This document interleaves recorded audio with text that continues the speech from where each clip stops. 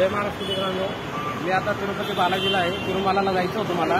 पण मी इथं चेकपोस्ट जे आहे चेकपोस्टवर माझी गाडी थांबवल्या गेली.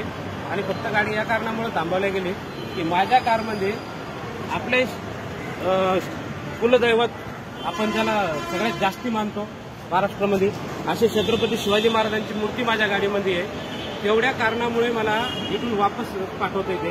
एक तर मूर्ती काढा म्हणते नाहीतर तुम्हाला जाऊ देणार नाही. मी मूर्ती काढू शकत नाही. छत्रपती शिवरायांच्यापेक्षा मला हे संस्थान वगैरे किंवा हे काही जास्ती आहे यांना जर नसल लागत नाही तर मी इथून रिटर्न जातोय. हे मला पुढे जाऊ देत नाही. त्याच्यामुळे मी इथून चालू भेटलं सगळ्यात जे मेन ऑफिसर आहे त्यांनाही भेटलो. त्यांना रिक्वेस्ट केली. त्यांना बोललो पण ते जाऊ देत नाही मला.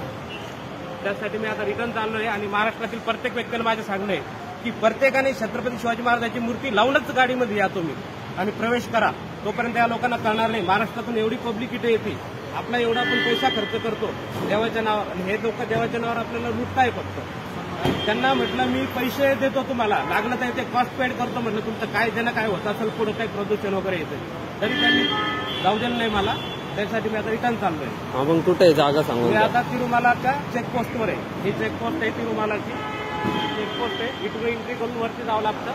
प्रायव्हेट व्हेकलनं आपले प्रायव्हेट व्हेकल असेल तर. धन्यवाद.